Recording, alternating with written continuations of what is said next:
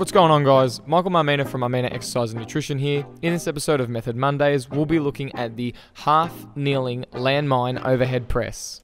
Begin this exercise by placing a barbell in a landmine implement. Grab the barbell right from the end, adopt a half kneeling position. Your knees are both 90 degrees, and you have a vertical shin, vertical femur, squeeze your bum, and keep your ribs down. This is the starting position. Begin with the barbell slightly in front of your shoulder and tuck your elbows in. Next, press the barbell up let your shoulder blade freely float around the rib cage, almost as if you're punching the barbell to the roof and shrugging at the end of the action, and then lean your head forward so your bicep and ear are in line. Not everyone will be able to achieve the same level of shoulder flexion, so just get as far as you can to your ear without experiencing any unwanted discomfort. During the eccentric action, pull the barbell back down to the starting position, maintaining tension and not letting gravity do the work. Once you've completed the desired number of reps on one side, perform the same number of reps on the other.